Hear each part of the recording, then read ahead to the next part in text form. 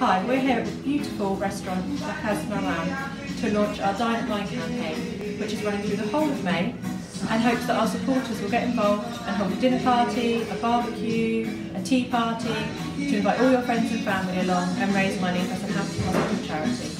Um, well, it's a real honour to have you guys here tonight. So the idea of Dine at Mine is that you guys can host your own dinner party. So obviously, I was going to be involved in this campaign. You guys will go away with a pack that will relate with, with, with recipes that we've written, um, lots of different ideas for you to be able to host your own party at home. Um, and get people to contribute that way. So, you know, everyone brings a fiver and a bottle, and that is your way of contributing. It's a really clever idea.